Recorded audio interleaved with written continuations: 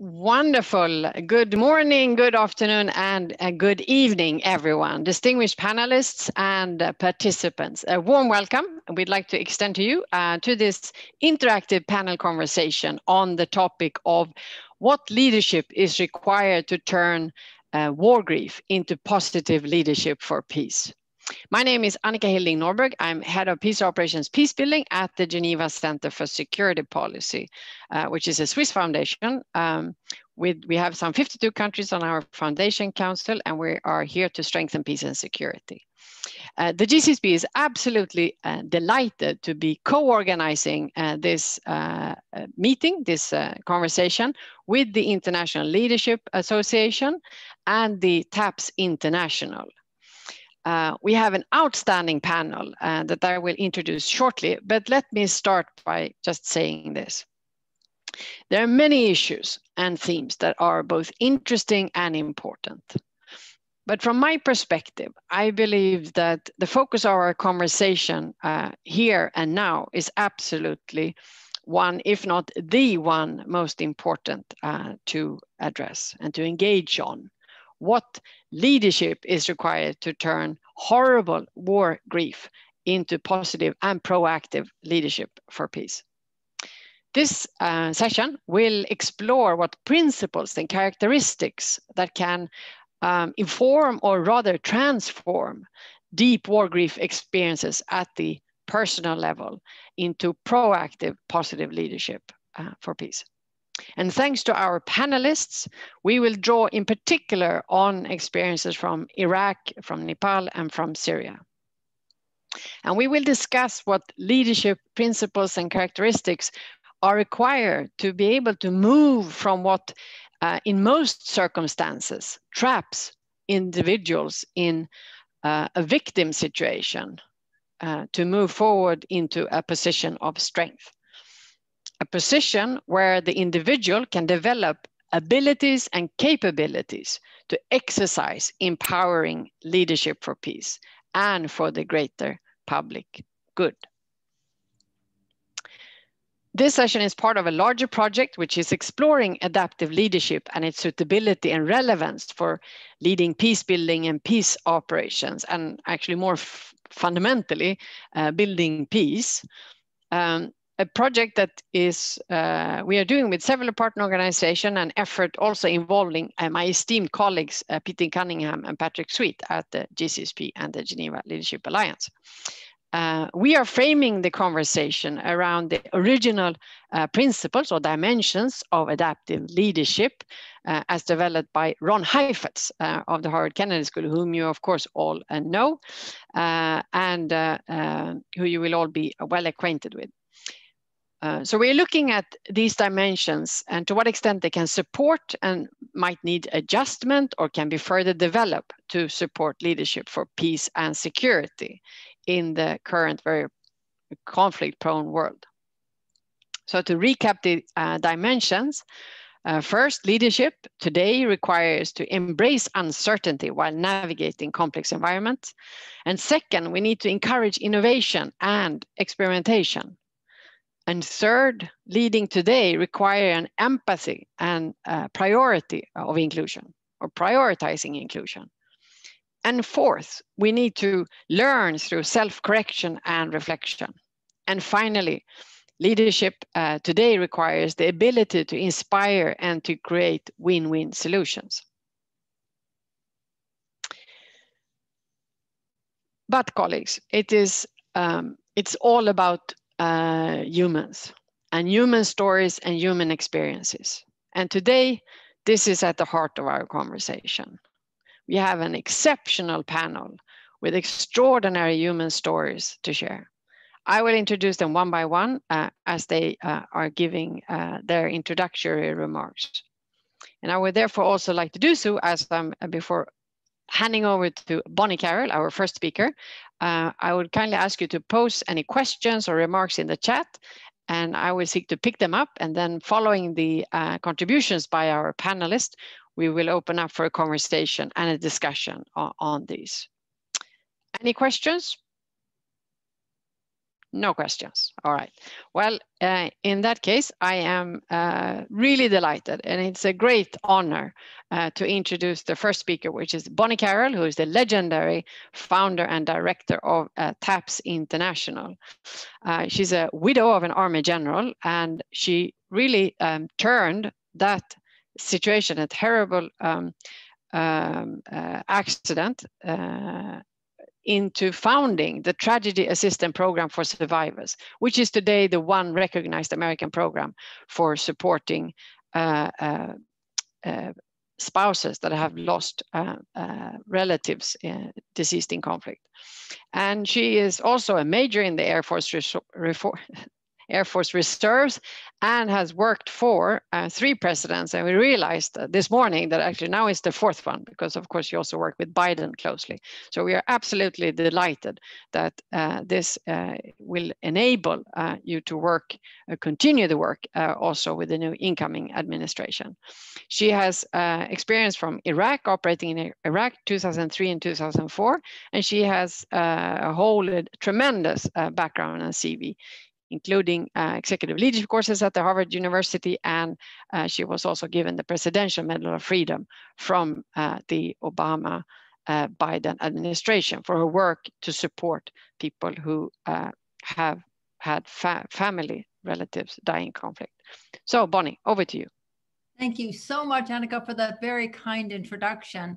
I'd like to start by sharing the research that we have done on excuse me, turning war grief into positive peace.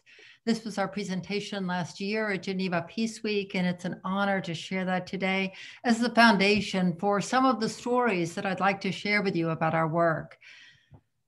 Death and loss are inescapable repercussions of violence and war people living in who, or who have lived through conflict, trauma, and war teach us how to turn the devastations of war into a path toward global peace. It is the bereaved, the widows, the orphans, the veterans, and the refugees who have witnessed the very best and the very worst of humanity and have been forced to rebuild not only their countries, but their very identities. Grief transcends political boundaries and military objectives.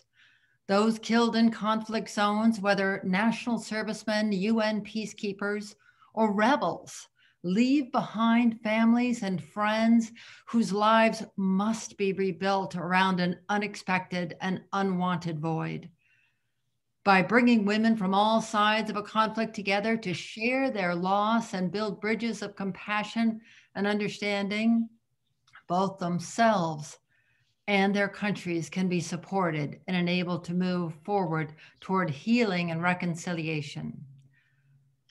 Understanding a shared loss and the origins of a conflict allows survivors to meaningfully, meaningfully reconnect with the outside world and build more stable communities in the process. The Greek myth of creation tells us that love, eros, and death, thanatos, are born from chaos and darkness. The balance of these forces, love and creation, and death and destruction, are common themes throughout the world. They penetrate religion, philosophy, and science. It was a Chinese cosmologist, Zou Yan, who used the concept of life and death to establish the yin yang school of thought, which is present throughout early Chinese medicine, divination, and government. Much later, it would be Sigmund Freud who used Eros and Thanatos to explain the two forces of life which drive human interaction and behavior and it would be Freud's insistence that we all succumb to love and death, which would come to be a philosophical underpinning of the renowned Frankfurt School. So it is life and death, Eros and Thanatos, which not only explain the push and pull of human interaction in the universe, it is Eros and Thanatos which best explain grief. Research has shown, although we don't need research to tell us, we only grieve because we love. Grief is a social emotional experience. It is the price we pay for love and the cost of commitment. And it is perhaps the only thing which allows us to feel and in some ways forces us to feel the power of love and death simultaneously. As the powers of love and death are universal, so is the experience of grief. Though the way we mourn is culturally specific, anyone who has experienced love and loss can find commonality in grief. Indeed, even when there are no words, no rituals, and no ceremonies, grief exists. Perhaps no one knows grief better than those living in war and conflict. Death and loss are those iris, ir, inescapable repercussions of violence and war. Research and literature on how people recover from trauma and conflict has shown that people who are living in truly in conflict truly do understand the best pathway forward. While war is waged by nation, it is fought by individuals. It pulls apart families and it takes place within communities. While, while the politics of war have convinced us that war is inherently political, the loss of war teaches us that war is, in fact, about people. The death that comes with war may be inevitable, but it is not natural. It is the result of violence and trauma, and it is often the young with bright futures ahead who are caught in the crosshairs. As a global community, we have recognized this. It is clear in the monuments we build and the rituals and ceremonies we create. Every nation has attempted to assign meaning to the deaths of its warriors, but what we have forgotten to do, what our monuments and our rituals and our ceremonies do not teach us, is how the grief of those left behind has the power to give meaning to the inevitable consequences of war. It is the voices of those who have loved and lost who can tell us the meaning of that the meaning of war comes not comes not only from the fight but comes when the fight is over that the lessons of war are not in what our warriors died for but what and for whom they lived for because grief is born out of the forces of love and death, there comes a time in every grief journey when one must pick a side. In our despair, we have to decide if we are going to choose anger, bitterness, hatred, and revenge, or forgiveness, joy, hope, and peace. You must decide if you will choose more death and loss or more life and love. Today, in the midst of the ongoing trials and tribulations of our global community, I want to remind you that the consequences of war are more than death. I'd like to share a few stories that I witnessed over my time, as Annika mentioned, in, in Iraq, first and foremost. A country that I came into in 2003, a country that had not been allowed to grieve for 25 years publicly. Saddam did not allow funeral rituals to take place for fear that the death toll would become known to his combatants, to his enemies. So people there were hungry for an opportunity to remember their loved ones, to grieve their losses. And the humanity I witnessed was breathtaking and beautiful. My translator was an extraordinary woman who had lost so many of her family members over the course of the wars. And she came with such an open heart, giving freely and loving genuinely and authentically. She worked, we all worked seven days a week. We worked Monday through Friday to support uh, our US counterparts. And uh, then we worked Saturday, also Saturday through Thursday su- to support our Iraqi counterparts. So Friday, Saturday, and Sunday were sort of split times. So there came a particular Sunday when we didn't have much work for Hud to do, and we gave her the day to be with family and have rest and take time for herself. And she was very grateful about that. It was that morning that there was a, a terrible car bombing at the gate where many of the translators who were working with the Americans were standing and waiting to come through security. 23 were killed in that bombing, and she would have been standing there with them. We were just so shocked and so sad by this, and never thought we'd see her again, thinking how angry she must be at the Americans for putting them in this dangerous situation. But yet she came back the next day with a beautiful gift, a carved inlaid wooden box, and presented it to us. And she said, It was your kindness in giving me that day that saved my life. And it just changed this paradigm of how we witness life and death, how we do have the choice to turn devastation and grief into hope and love and remembrance and honor. I had the opportunity then to create a program connecting these wonderful Iraqi women with American military survivors, confused about what was happening in Iraq, what their loved ones serving overseas were doing. And we created a program with bracelets, simple bracelets made by the Iraqi women, but then presented to the American women we did surveys about grief, asking you know, who they had lost and how that had impacted their lives. And we translated them for each other, the very same questions given to widows and mothers in Iraq and in America.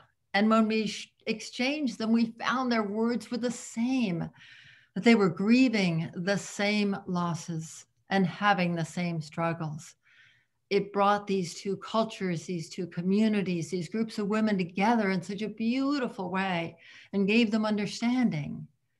Many, many years later, we took a group of American surviving family members to, uh, to Iraq and on the way came through Istanbul as a, as a gateway city into, uh, into Erbil and Baghdad.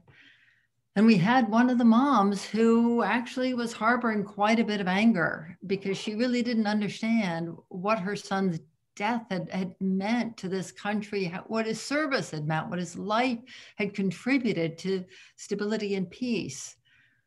So we went to their military cemetery, their veteran cemetery, a beautiful, beautiful place. And on the headstones there in Turkey, they had enameled color photographs of the deceased, young, beautiful faces in uniform. And when we went there, she saw that there were three Muslim women at one of the headstones, obviously, three moms who had come there and were enjoying their lunch with, with their sons and remembering their lives and grieving their losses.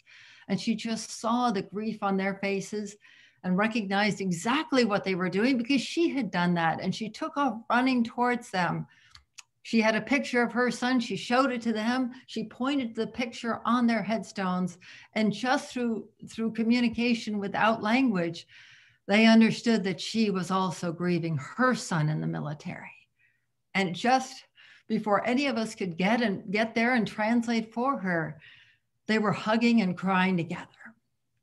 And that's what we can do. We can educate, we can inform, we can break down barriers, we can transcend grief and loss. We can choose life and honor and remembrance and peace and healing and reconciliation. The takeaway I'd like to leave you with is that, of course, we must ensure stability and security first and foremost. When we went into Afghanistan, it was clear that the widows had no support. There was no government benefit. They were out on the street begging. So we had to immediately create economic opportunity coupled with the chance for the women to come together and find that community of mutual support.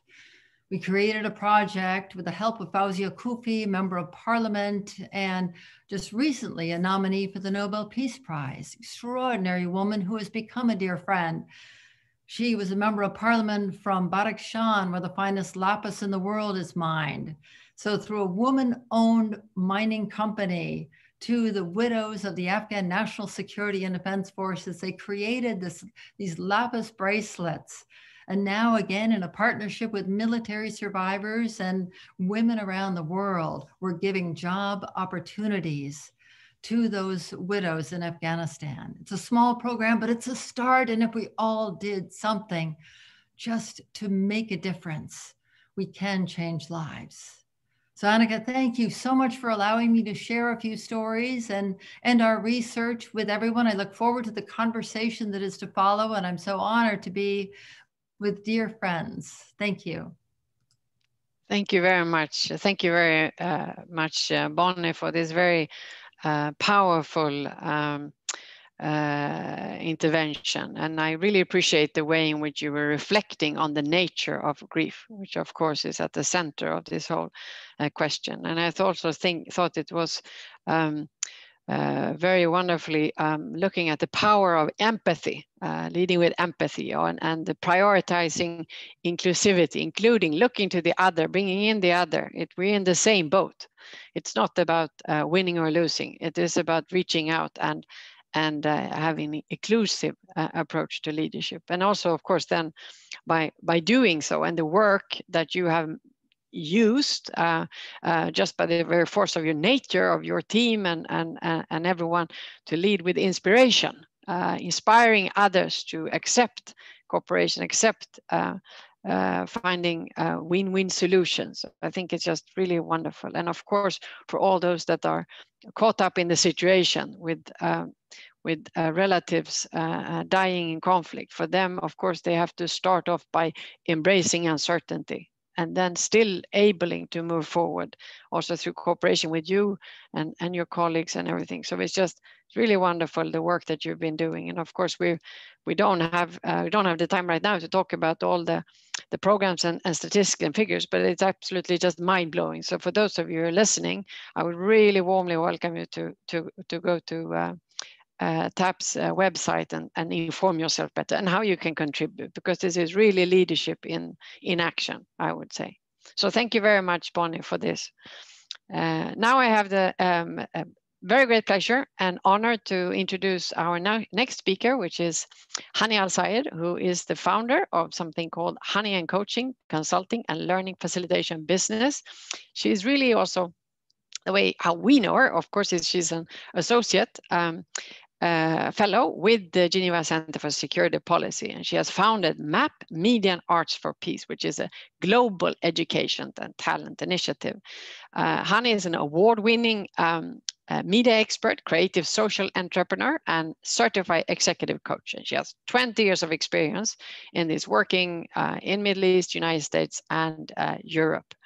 And of course, she brings a wealth of experience uh, to the conversation. Uh, both uh, from uh, her own being have being a refugee twice in her lifetime and having worked her way through uh, those difficult situations to be a real powerhouse in many ways. For instance, she's also known um, as the uh, Oprah Winfrey of Syria, having been uh, the great, breaking the ground in Syria with the number one rated morning show uh, Good Morning Syria, which for six years had 7 million listeners. It's almost as many as there are people in my country, Sweden. So really fantastic. But she's really bringing challenges and making things happening. So Honey, over to you. Oh, thank you so much. That's such a lovely introduction. I appreciate it. And I appreciate everybody here today. And I, I can so relate with what you were saying, Bonnie. Uh, grief is transcendent. So I'm I'm just gonna go ahead and lead with uh, my story. As you heard Annika say, I, I have been displaced twice, um, and and that was quite an experience uh, for me in my lifetime. Uh, I've also been in a variety of conflict phases, which means I've had to adapt to new environments and uh, challenges. It, but it's that very journey that taught me tolerance, uh, it taught me patience, and it taught me perseverance. It also nurtured my creativity, my agility, and my resilience in adapting to change.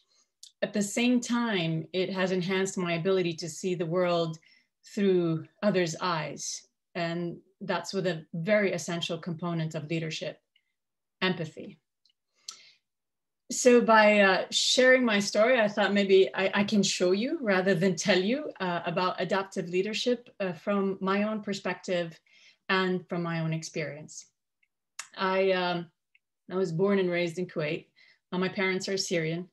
Uh, my first exposure to a creative and entrepreneurial world has been through their lens, my family's lens. It was a world that consisted of, uh, and still does, business and fashion, art curation, advertising, and, and so on.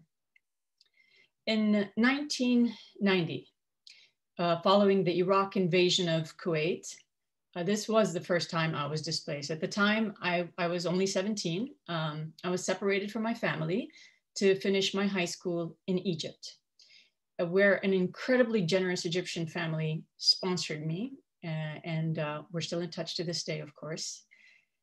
Never forget the people that give um, also uh, that school, uh, which was the Cairo American College at the time, that was one of the few schools to find a creative solution to reconcile refugee school records.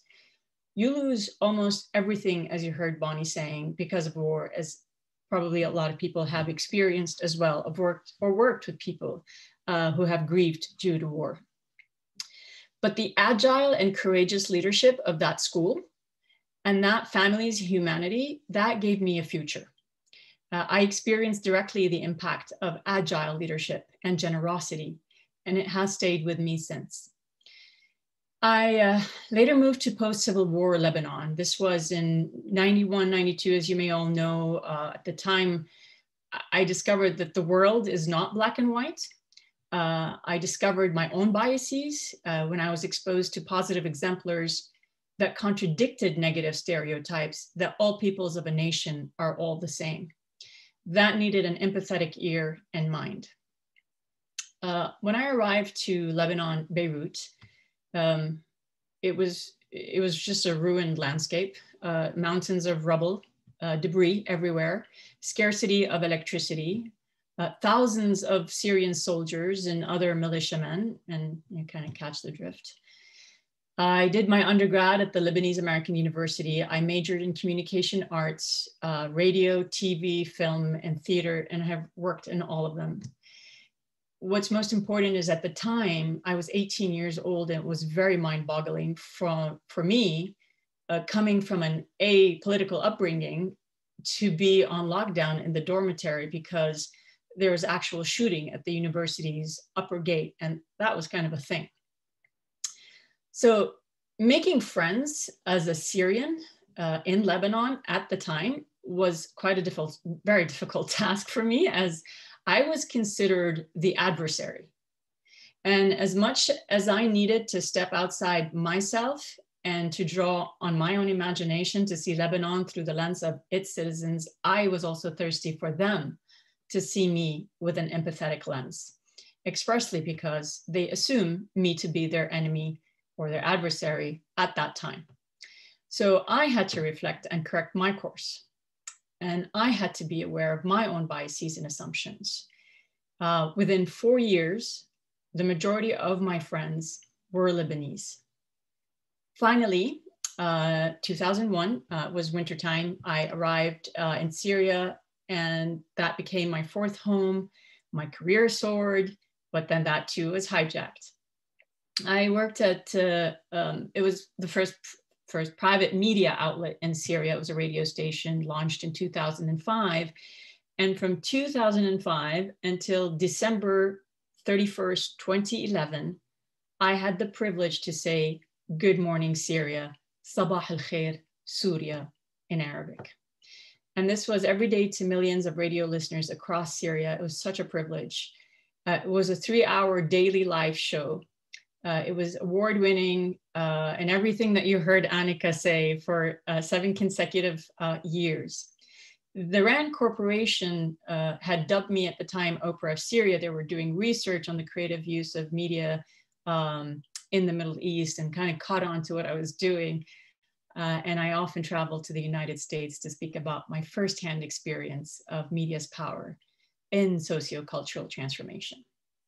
So in that decade of a, a radio media career in Syria, I had to take risks and I had to learn how to manage uncertainty. I had the opportunity to work inside the system to create change bottom up, and I took it. I understood what it meant to be self censored, how to tread the red lines imposed by the authorities. I can tell you there's no toolbox or university that can teach you how to navigate censorship. It's a skill you master by taking risks. And you kind of start knowing when to push the envelope, how much, for how long, and, and when do you know how and when to step back, for how much, and for how long.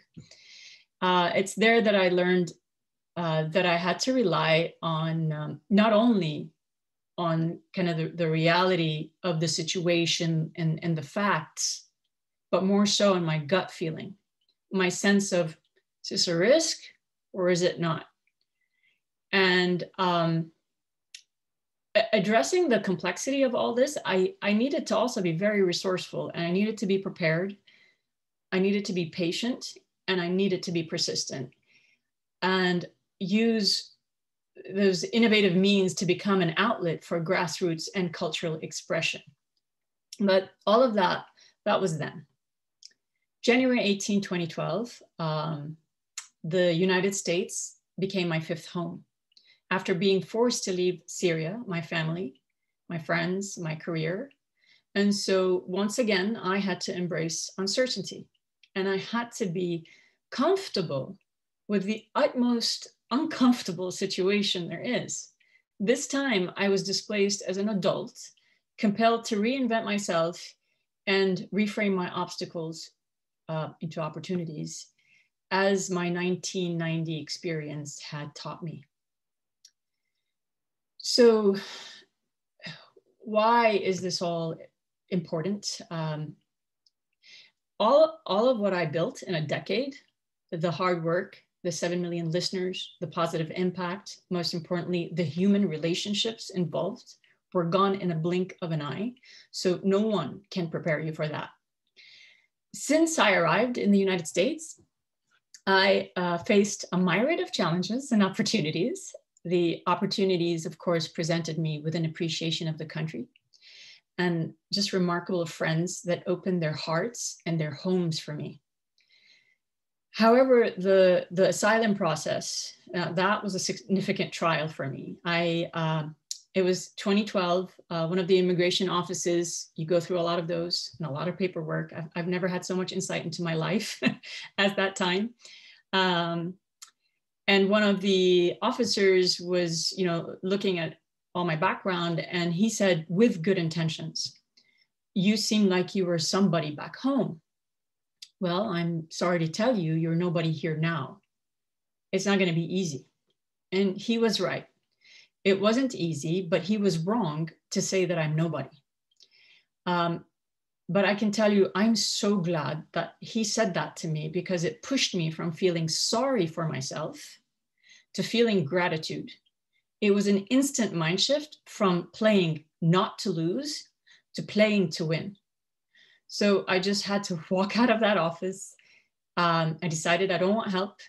Uh, and I decided I just, I really just want to be someone in a new country again to give back to my new home. And if I can't find work, I must be able to create it. And so, as um, Colin Powell used to say, get mad and get over it, which is what I did because acceptance is key to moving forward to what could be. So, uh, since that, since 2012, uh, I helped found SouriaLi, which means Syria is mine, and it means surreal. It's a Syrian independent online radio that fosters peace building, reconciliation, and, and democracy. And then I moved on from SouriaLi and I found my own company, Honey And. The and is significant because I love to collaborate with people. So, um, and, and thus the end.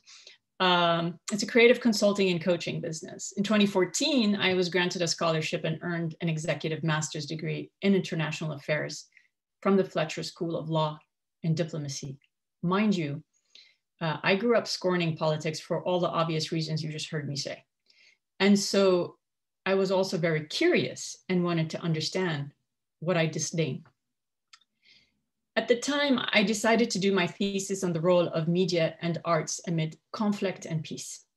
My passion for harnessing the power of media and the arts for peace was uh, strengthened due to the research, my turbulent life, my experiences, uh, especially in you know growing up in all the creativity that I was growing up in.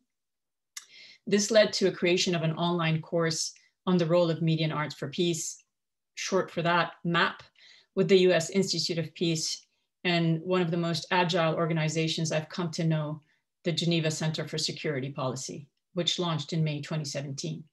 2018, alongside a business partner, I decided, okay, let's launch MAP as a global education and talent agency to help reconcile the lives of displaced media and art professionals like myself by rebuilding their careers and economic livelihoods, by promoting their culture as a means of change, shifting the narrative about who they are, not nobody, not refugees, but people, professionals seeking normalcy. I taught MAP in several leading academic institutions, Georgetown University, University of Denver, and many others. And by the way, after eight years in being the United States, I did become a US citizen. I voted and my first win uh, was revealed yesterday. So there is that, there is hope. Um, the point is the, the constant li- loss in my life uh, and in the lives of a lot of people that experience conflict, that has become my drive to continue picking up pieces and rebuilding. I've, I've had to learn how to leverage my fear. Uh, I, I had to teach myself humility to the best that I can because the latter is so much internal work because really pride can take over due to loss. Finally, uh, come COVID 19. And that impacted everyone's livelihood, including mine, and has forced me to once again rethink my business and uh, my future. So you see, change and what we have been calling the new normal, these are constant. The, the pain and uncertainty due to circumstances and crises are inevitable. How we respond to them, that is a choice. Thank you.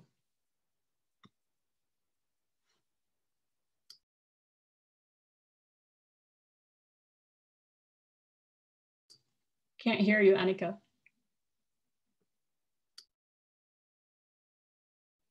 Thank you very much. Thank you very much. Uh, I was uh, just saying, uh, Honey, thank you so much for, for sharing your personal story and and it's uh, extremely uh, inspiring, I must say. Very difficult, but also extremely inspiring. And I think as we as we had our pre-chat leading up to this meeting, I realized almost the adaptive leadership principles should really were i was thinking if they were designed around your experience because as you picked up also a number the the, the critical importance of empathy uh, of course both for others but also um, for you to be understood uh, by others and creativity innovation and experimentation was obviously a, a core component throughout your whole life and and, and learn and journey um, the issue of course is closely linked to the taking risks, as you mentioned. You know, where is the balance? And this is something that became a, a key, key conversation we had on at the seminar on Thursday.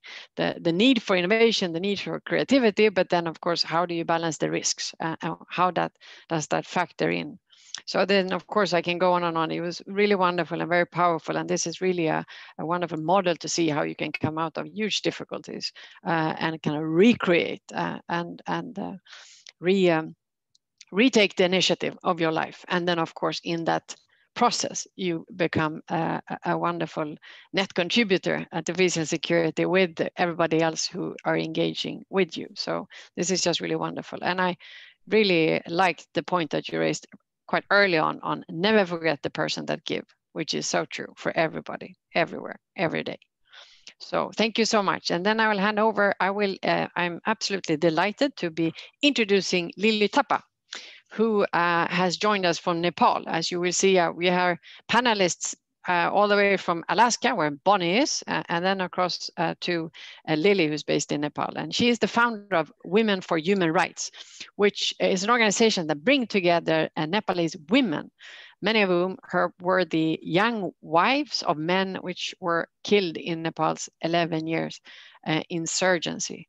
So it's out of their women's experiences and isolation and, and, and difficulty that um, uh, emerge when their husbands were killed, that you uh, got your force uh, to engage and provide a network and a process and a, a support effort, uh, helping many, many, many, many women uh, in that issue. And I think this is, I like very much the fact that, that you have as a choice to call not widows, but single women, which of course is also a way to empower uh, them rather than the heavily symbolic widow term. So helping them to, uh, to give them a chance to grieve together and to learn how to speak out and deal with the social and economic barriers that they face. And then of course, it's thanks through uh, uh, TAPS International that we have had the absolute uh, privilege and pleasure to meet you and to get to know your work. So it's with great uh, humbleness and honor, I hand over the word uh, to Lily.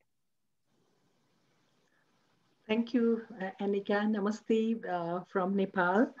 Um, actually, first of all, I really wanted to congratulate all of us for having a first female vice president in the United States. Mm -hmm. Actually, I was listening her speech. It was such a motivational and inspirational. And it was motivational not only for the women of the United States, but all the women all around the world. It was fantastic. And I'm going to share you about uh, the little bit experiences, how the conflict affected women not only the widows, all these conflict affected women are trying their level best to bring the peace in our communities. So basically, you all know that Nepal has made very less progress in issues of the justice, truth, and reparation for victims of 10 years of conflict. Though the government of Nepal has a fundamental obligation to investigate and prosecute um, uh, serious violations of international human rights law, that were committed during the conflict. And you all know that there were two commissions, uh, Truth and Reparation Commissions and the Enforced uh, Disappearance uh, Commissions has been set up to address the issues of the victims. But unfortunately, both the commissions are failed. Both the commissions were not victims friendly uh, and failed to address the 63,000 cases that has been reported to the uh, TRC, Truth and Reconciliation Commissions, and thousands of people who has been disappeared. Um, that cases has been reported to the disappearance committee. Not a single cases has been addressed till date. It's so painful.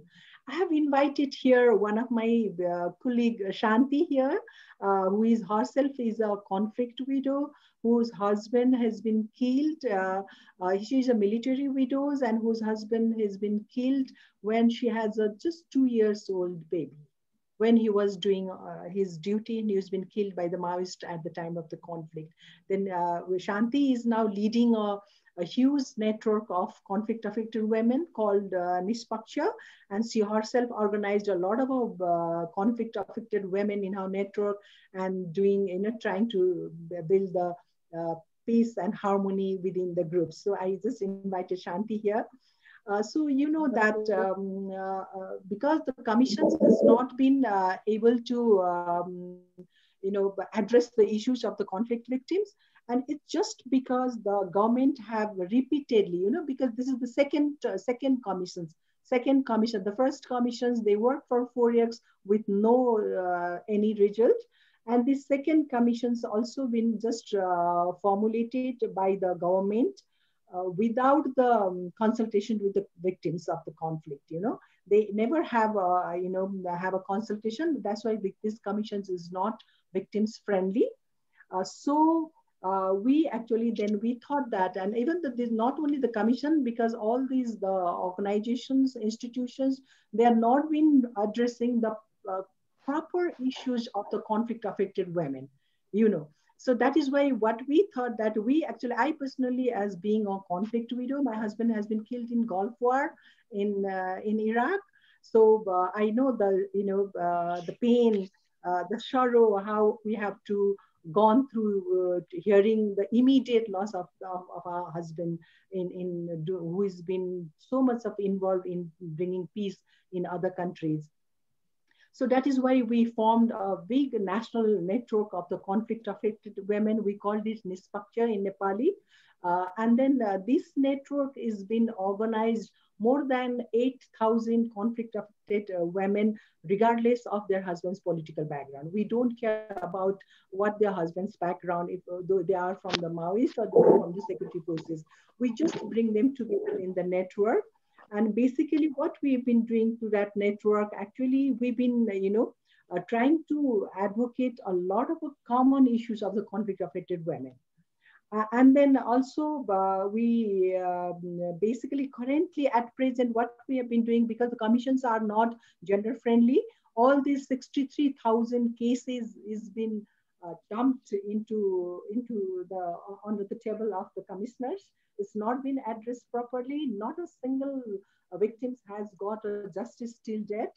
So we are actually together, our network together with the other victims network, we already been filed the cases to the Supreme Court against the government to amend the laws, you know, which is not gender friendly. I, I, I don't know, uh, maybe you must be surprised to know that still uh, in our country, uh, you know, the sexual violence, you know, sexual violence and rape survivors issues is not been incorporated into the definition of conflict.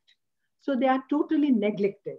Not a single rape survivors, not a sexual, single sexual violence uh, women have got a justice, have got any kind of facilities uh, from the government, not from the other organizations, except the NGOs doing few more things for them. And you know, the impact of the conflict uh, in our country has been disproportionate. And women in Nepal have suffered torture, abuse, and thousands of, as I told you, thousands of the women have faced uh, sexual violence. Um, uh, during the conflict period from both the conflicting uh, party, from the security forces and from the Maoist as well. But we don't have, a, still we don't have a, single, uh, you know, accurate uh, data of how many women have been raped, how many women have been sexually violent, how many women have lost their husbands, their family, the property. We don't have accurate data. The data is so differences.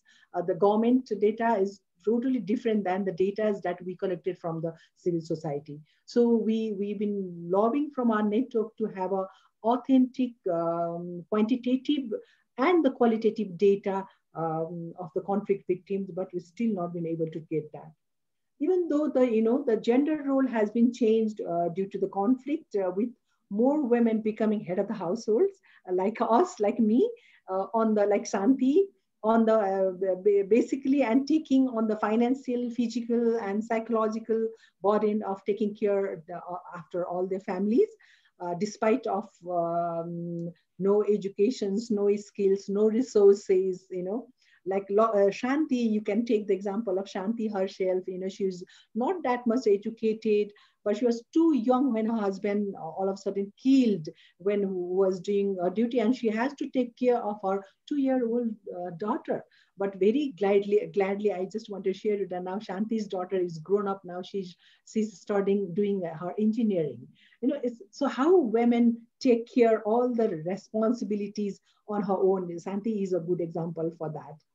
And you know that conflict in Nepal uh, left behind thousands of the young widows almost the government data says that 9,000 uh, women have been turned into widowed uh, by the conflict, but we are not uh, that much, uh, you know, uh, uh, convincing with the data of the government because there are more than, you know, 30, 30,000 people have been died.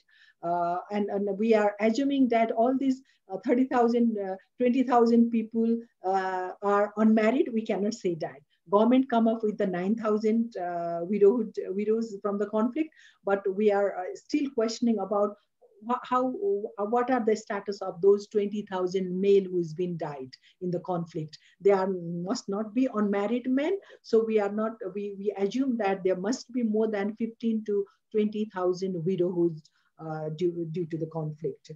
And you know that over 60% of the conflict affected women have faced sexual violence and that, that has, has created a hundreds of children uh, born out of rape. And we are dealing with that cases right now because these children is not been entitled with any kind of a recognition, you know, because, uh, you know, in, in our country, we've been fighting to have a citizenships in the name of the mother. And you can imagine how it is so difficult to get the citizenship of those children born out of rape.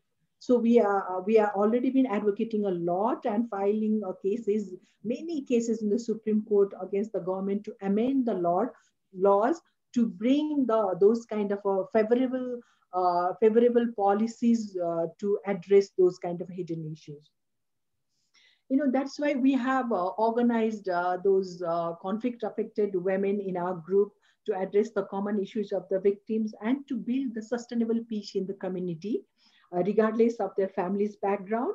And that is why, you know, this our network actually, Nispaksha, we call it in Nepali. Nispaksha means uh, unfair unfair. We don't, uh, uh, we are not biased with any uh, political background. We are just, uh, you know, um, focused on how, what and how will be the women get justice. The conflict victims, women get justice and their issues will be addressed by the government. That is how we've been dealing with. And you know, the, our network actually, Conflict Affected Women's Network, have been successful in bringing women from both the conflicting parties together in one umbrella. And that helped, you know, actually really helped in bringing peace in the communities. That is how, you know, I'm very glad to share you that that's why we have been awarded with the nation's greatest award for peace by then President almost five years back. You know, so because it was so difficult for us to bring the both the families together in one umbrella. You know, when we started that eight years uh, back, as it was um, really a challenging job for us. You know, when we address the issues of the bring the you know the wives of the Maoists, then the security forces questioning us. When we deal with the security forces wives and then the Maoist uh, Maoist were questioned. It was really a difficult task, but nowadays it's all been solved and they are together, they are together working in one umbrella, bringing peace in the community. Uh, besides that, you know, the network actually, the conflict affected women's network have been mobilizing in the community for the reconciliation, for the reparation um, with the various activities. Basically, Thank you very much. Yeah. Sorry, yeah. My time is gone? It is coming to closure. Thank you.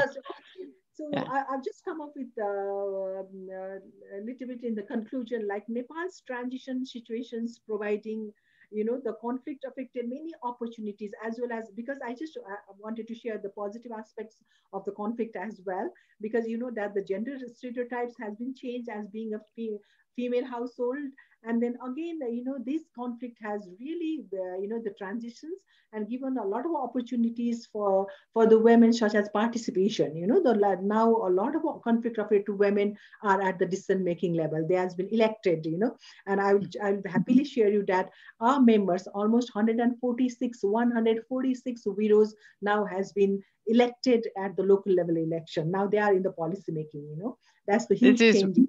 This is wonderful. And I, if I can just, I think it's wonderful. We, we soon have to, um, otherwise we will not have time for the last speaker. And the thing is also, I can, if I can just add that this is just the beginning of a conversation. We really enjoy that this is kicking off a project that we are, are doing. We very much look forward to continue this. If you want to have a, a final, final uh, 15 seconds, please. Uh, otherwise we will not have time for the last. It's wonderful there will be questions I will be happy to answer. But what we believe that until and unless all these victims, especially the women, do not get justice, the peace will not prevail. That is what we believe, and we've been trying our level best to bring that thing. Thank you so much. Wonderful. Thank you so much, Lily. That was extremely interesting and, and very inspiring. And I think also what you started off uh, uh, saying that, uh, or explaining really that not only uh, the, the, these uh, women lose, had the grief by losing their husbands or spouses, but then they were even put in a worse situation because of it. So it was not just receiving your support, but being even more troubled and having to face the very and embrace the uncertainty and difficult situation. And I think that the the work that you very kindly shared in, and I apologize for the short short uh, uh, time available, but the, the the work that you shared, it, it was such exemplified in in terms of creativity, uh, finding solutions to the problem that you saw, and and really being able to inspire many to engage and uh, innovate that innovates with determination, both you and, and your colleagues and through skills. Again, um, uh, I think the, the whole the whole process, that your whole project, your whole work is defined by, driven by empathy. And I love the fact that it's also very inclusive. It doesn't matter from where, a background and so on. If it's a if it's a, a single woman or or someone um, otherwise called widow, that regardless of background, they are welcome and they are to become or have an ability to engage as positive leaders for peace. I think that's absolutely wonderful. So thank you so much. Thank you so much for that. Um, and now, uh, finally, we have uh, we have Professor uh, Mike Hardy, who of course all you know, he's the chair of the International Leadership Association, which is hosting us all for this session. And I will, of course, he's also the director of the Center for Trust, Peace and Social Relations at Coventry University. Uh, for us, we're very lucky because on the one hand, he is the chair of the ILA, but it also happens to work exactly on the topic that we are focusing on. So it's a, we are absolutely privileged. And of course, uh, uh, Professor Hardy brings in the experience on, on, as a diplomat, but also working in the Arab world and in Asia. He's worked for the British Council and, and of course, primarily on, on issues related to intercultural dialogue and is engaged in, I would say, any every relevant process to our conversation that there exists on the planet. He's either started them or I'm sure he's a member of them. So that's very uh, useful for us. And he's been also awarded a number of um, uh, uh, uh, medals and prizes and awards for the outstanding work that he has uh, pursued uh, for a long time. And of course, I see that the highlight is on innovation and vulnerability, protective security, and all behavioral aspects, which are all at the core of what we are to discuss now. I will be a little bit short because I know you already know the professor. So I'll hand over to Mike. Uh, the floor is yours. So, Annika, thank you very much. And this is a desperately hard act to follow. The three uh, hugely emotional and real stories. But um, what it tells us is a few, I think, basic things that I wanted to focus on just in a very few short minutes. Partly it explains why I'm involved in leadership and why I've arrived here from an early career as I was a trained economist, then I went into the Foreign Service. None of that gave me the satisfaction I now get in trying to fill the gaps that you have described so powerfully for us this morning. So, what have we said? We've said that positive peace is important to people, it matters, and it's destroyed by trauma by conflict, by war, by events. And what happens to people through those experiences is they find it really difficult to pick up. They lose faith in the simple uh, reality that the future might be better than the present. They lose faith in that. Um, and it, it tells us that we have to work at positive peace. And there's no better place to start that work than here in leadership the, the International Leadership Association, this is exactly the right home for this debate. So thank you, Annika, for bringing it, and thank you to my co-collaborators for their wonderful stories. When you have empathy, you share loss. And it's only when you share or feel loss, we've heard a lot about that already, that you can begin to identify what you can do in a practical sense. In 2004, after Christmas, my Christmas, I was living in Indonesia. And in northern Sumatra, communities were destroyed by a tsunami. So it's not just humankind that brings the grief and trauma that we've been discussing. 250,000 people were swept away in 20 minutes that's bad enough. But what it leaves behind is this huge vacuum, this huge trauma of which we've heard. My ambassador sent me up to Aceh to mobilize and help the uh, relief work that was going to take place. That, had, that the international community is amazing when these things happen. It mobilizes immediately. What I found changed my life. And it's why I came back. It's why I formed my research center at Coventry. And it's why I now am engaged in leadership. When I arrived in Aceh, in the town, four days after this had happened, I met a man sitting on the side of the road. And I stopped the car and got out and I sat down next to him because I was so, so traumatized by what I was seeing. And I was a visitor, I was an observer. I've learned never to apologize about being an observer of other people's traumas. Take responsibility for using those observations productively and constructively. I sat next to this guy and he said to me, Pak Mike, because I was known familiar, it's wonderful, seniority is recognized. Pak Mike, I've lost 87 members of my family. This is four days after the tsunami. All I could feel was that coming from my Western comfortable elite existence, I don't even know 87 members of my family or where they all are. I probably got them. I'd probably have to think about it. I, I have, of course, my close family. He knew them all. He knew which ones he'd lost. He knew the 12 year old boy that had survived and he'd sent off to Medan to stay with a distant cousin. Now, I only raised that because to have made any positive contribution to his circumstances and his future, you had to empathize with where he was sitting.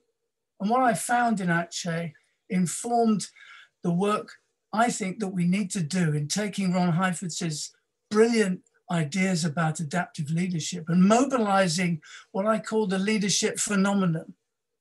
These aren't types of leaders or approaches to leadership, it's a phenomenon uh, that leadership can actually fill the vacuum that all of us can describe so powerfully. So, what did I find in that first mission in Aceh? Apart from struggling to sleep and relate to the utter destruction that Mother Nature brings upon us uh, from time to time, I found people completely disillusioned with their circumstances, bewildered by why it should happen to them.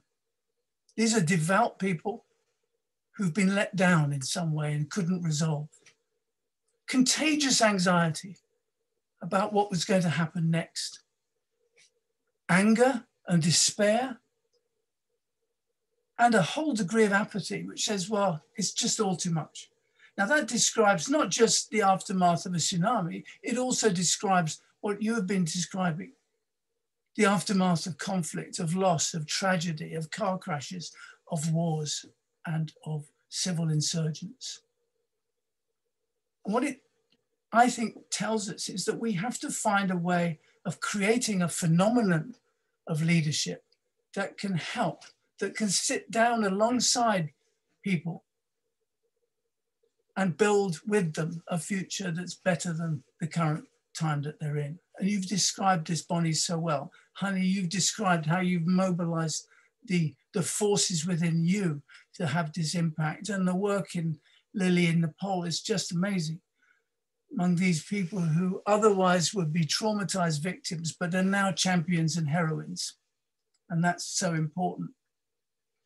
But there are a few things we can do practically. We must not rest on our laurels and saying we empathize and understand. We must construct and build something to fill the void, something to, to provide um, movement rather than being distracted by a moment. So we've talked in adaptive leadership about building leadership development programs. These can be in schools, they can be in women's group, they can be in primary education or in universities. We have to help people to be really much more comfortable with the insanity that they're experiencing, with the trauma and the loss. How do we do that? We have to encourage people, as Annika's been reminding us, to be innovative, to take risks. We can't do that if we only applaud success. So we have to find ways of being really comfortable with rewarding failure with saying, look, you've got to have it because it's the intent that matters. The intention. How do we seek strength from unexpected places? This man on the side of the road with his family lost had strength. He had inner strength. He had a belief that when he got over this, he could stand up and help someone else. And that's exactly what we watched him do. He had inner strengths that otherwise we'd have just considered him to be a, a poor, unfortunate survivor. Let's look after him. Let's cuddle him. Let's put our arms around him. But no, he was a strong, a source of strength in that community. And had we not recognized that, it would have been our failure, not his. How do we nurture the empathy I've described? How do we get people to be endemically, naturally empathetic? So they wake up in the morning and think well of people and think passionately and emotionally about other people's circumstance. And finally, how do we get self correction into our vocabulary? How do we get the ability for ourselves to make mistakes and to be imperfect and not to get traumatized by that, but to get inspired in the way, honey, you did when you described how you reacted to the immigration officer. You didn't change the way you went about your approach to him. You changed the way you went about your future life. And that's that's we have to try and do that. You can't teach people how to do that, but we have to create a leadership phenomenon that shows example, that shows abilities, that shows competencies and skills. And we have to make mistakes when we do it. Finally, how can we create inspiration without falling into the trap of celebrity, which I worry about? How do we do it from behind closed doors? Invisible leadership that my good friend Gil Hepton talks about with her, uh, our recently uh, deceased colleague, Georgia Sorenson. Invisible leadership may be part of the phenomenon that I'm referring to. We have to find a way of inspiring without saying it's me, me, me, and how big and how good I am, without ce the celebrity impact that seems so important in 2021 and 2022 as we look forward. So I'm intensely practical. I love the messages and the stories and the personal experiences that enliven the discussion. But let's find out how to create a leadership phenomenon that will take us forward. Thank you, Annika. Thank you very much. Thank you very much, uh, Mike, for those very uh, thoughtful and uh, inspiring reflections. I love the concluding sentence about uh, seeking to create a phenomena.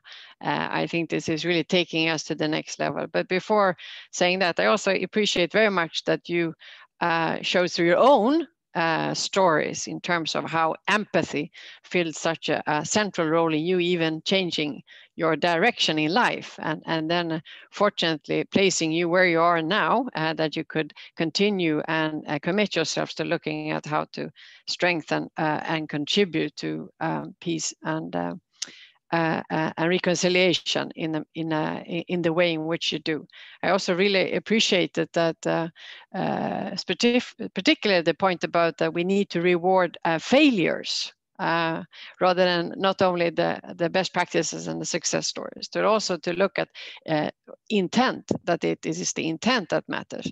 I think uh, also adding to that, even those that we think are successful and have achieved a lot, uh, know that they wouldn't be that without having committed a lot of mistakes on the way.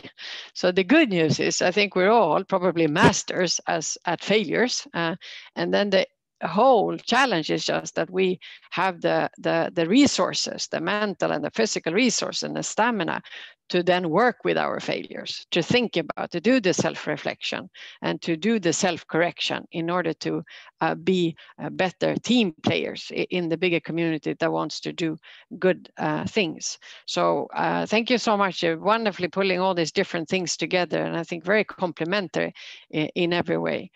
Uh, as you will uh, see, we have uh, we're running a little bit uh, after schedule, but we have kindly been giving a few extra minutes by Bridget, who is our collective boss in this uh, endeavor.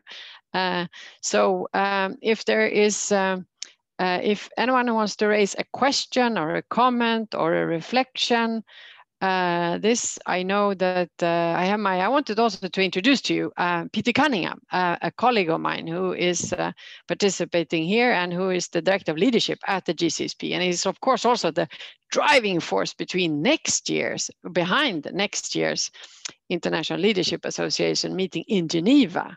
Peter, do you want to say a few words? Annika, thank you. Well, I certainly don't want to detract from any questions. Uh, so, so uh, just very briefly to say that it's uh, it's rather humbling to to to sit here and listen. Um, in in the teaching of leadership, there's lots of talking, and and and and uh, I think that um, what I've heard today is is uh, given a food for thought and for pause and and and, and reflection and just to say that next year, we're still in the middle of this year, but next year we will be in Geneva, uh, hopefully, or if not in Geneva, carrying the Geneva spirit into some form of online blended virtual place together.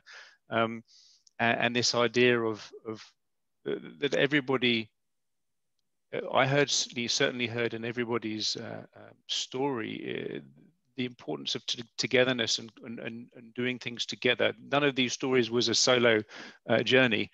Um, and collaboration and working together can be so easy to talk about. Um, you sense so natural actually for everybody on this call to do probably in practice without even thinking about it. Would it be even thinkable to not do things together? But but it seems to be when you get to a more political level and when you get to a more complex level that, that collaboration is becoming a little bit more challenging. Um, and so how do we push beyond those boundaries is what we'd like to to explore next year uh, um, but that's next year um, so I just want to say thank you so much for uh, allowing us an opportunity to hear. And, and I think there are questions, Annika, so I, I, I hand back to you. Thank you so much, Peter. I really appreciate it. And now you know who's behind next year's uh, uh, event. Um, uh, yes, I see a question from Miriam, uh, which I thought was very useful and very interested to hear the panelists' responses to, which is about what would uh, the panel say, what was the most important now uh, uh, most uh, important that you have learned about yourself as leaders uh, going through your experience? Is there one thing that you feel has really come out through your experiences that you learned about yourself? Who would like to start? We have the panelists.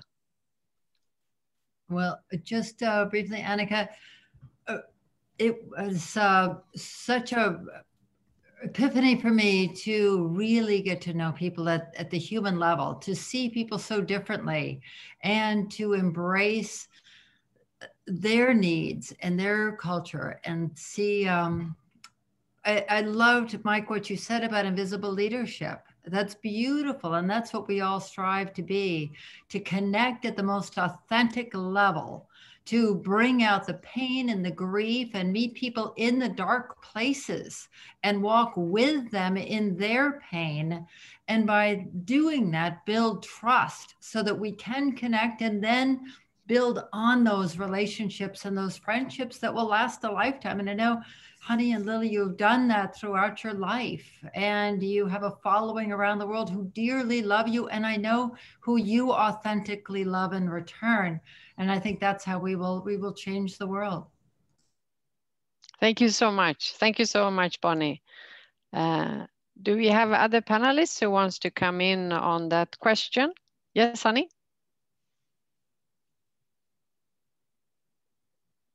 we don't hear you. We see you. Yeah suddenly i lost my mic. Um, as a radio host believe it or not. Um, yeah it's uh, just to answer to that question i you know there's so many leadership styles and principles. At the end of the day it is about being human. And then when you're human it's what you know mike was saying you, you know you need to celebrate your failures the same way you would celebrate your wins. Um, and and i can tell you i've had a lot of i mean i just summarized something. I, for decades of my life in 10 minutes. Uh, I, I revealed the wins and some of the pain, but there is a lot of failure behind that. There's a lot of grief. There is a, a lot of times where I, uh, you know, until today, I have to deal with these things and, and with the anxiety and and to how I respond. But it's a constant learning of, okay, I, I need to respond to this right now. I, I can't react to this. And every time you you experience crises in your life, it's a it's a choice that that is going to be a learning experience that's going to make you grow, or is that going to make you spiral into a negative, bitter, et cetera, et cetera, uh, person? Mm. Um, but it is looking at you know i failed like i did this wrong i, I need to do this differently next time i still have failures um, they're, and they're not going anywhere. Um, so celebrating failures the same way we celebrate our wins is important. I just understanding that we are simply just human. Mm. uh, yeah. Thank you so much. Thank you honey uh, I see Mike has his um, mic actually off, on. So it's a great question, Miriam. And of course, we're always responsible. But I just want to add, if there's one thing I have learned in my travels, and it was from the guy sitting by the side of the road. And it's the importance of stories and storytelling. So none of the leadership that I've conducted, however imperfectly since, has left out storytelling. And storytelling is about constructing and describing as we have today, but it's also about listening and hearing, not just listening, actually hearing. So I think that a leadership phenomenon without storytelling, without narrative, and not just in those cultures where it's important, as it is in Sumatra, mm. is really a fundamental lesson. Don't ever forget to encourage people to tell stories and to hear yours. Thank you very much. Uh, thank you very much, uh, Mike. Uh, very, very uh, powerful. I think we're. Um, I wanted to invite uh, Lily as well. Mm, no, I also the, wanted to add what Mike just have shared here. Like you know, uh, if you don't don't give a platform to share their stories, if you don't them don't organize them in the group, then their voices will never heard. So what I learned from my ex work experiences from many years, like you have to be organized in a group to, you know, change the, your sorrows into their strengths. That's why we've been mostly focusing on making the groups. That is what we, I learned from the past. Thank you very much. Thank you. I, and I think this is, uh, I think it's it's also it's commenting on both uh, questions, other questions that come up in the chat, as well as uh, as this one about what you have personally learned. There's also a question. I like the one uh, uh from King Yan Tian. Failure is the mother of success, and I think that uh, we have all experienced it, and it is indeed a good. Uh, um, concluding comment on some of the, the challenges of, of leadership. Uh, there is uh, several questions or that has been raised and I'm raising this is the last one because I do know that we are coming to closure now. But it was the if the panelist uh, wants to comment as you're concluding about to what extent you can uh, uh, move forward either in community or heal yourself what is the balance between reconciliation through communities as well as through yourself or if there any other final comment you want to make uh, as we're wrapping up this absolutely wonderful uh, panel. Honey? Um, yeah, that's a deep question. um, and I would say uh, to answer that simply both we we we need to look in and we also need to look out but we need to make sure when we're looking out and when we're sharing those stories or leading with story that we are able to create safe spaces and safe environments to be able to to do so because it's not always comfortable. It's not always comfortable to tell your story over and over again. I can tell you i've said it a thousand times and it's still very uncomfortable for me. Um, uh, it can be re-traumatizing for some people um, to to be telling their stories. So just to keep an, an eye for that. Um, eh, so working internally and working with community are both very very important because um, just you know looking back at um, my life and, and the stories that you're hearing right now, it it you know what it, it takes a village. it takes all of us. I, you can't do anything on your own. You just it, it's not possible. Um, and so having a, a, a collaborative spirit is very important. Um, to please stop working in silos. I mean, we all need to work together. This is yeah. really important. Mm-hmm. And I would just leave with saying, you know, um, accept what is and, and create, create what you want um, without expectations, but rather with gratitude. Wonderful. I think that's a great closure. Thank you, Honey. If uh, Bonnie, Mike, or Lily want to say, you have 10 seconds each just to say thank you and, and or not to say thank you, but to say your concluding thoughts before we close the panel. We run a little bit over time, but we really appreciate the, the value of the conversation. So Bonnie? No, Annika, I just echo what all of my panelists have said. Honey, that was so beautiful the way you just put that. And we must move forward in a place of gratitude, love, and compassion. So thank you for today. It was amazing. Thank you very much, Bonnie. And Lily? For listening. Thank you so much. Okay, wonderful, wonderful. I think Mike might have, um, since he's chairing the whole ILA, I think he might have left. Mike, are you still here?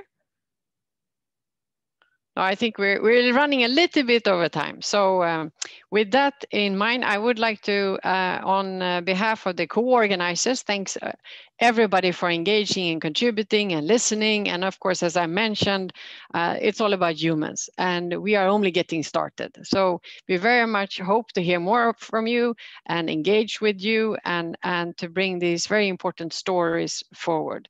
Indeed, as Mike was saying, it's all about the narrative, about the storytelling, which also, of course, then informs and empower people to move forward collectively and individually.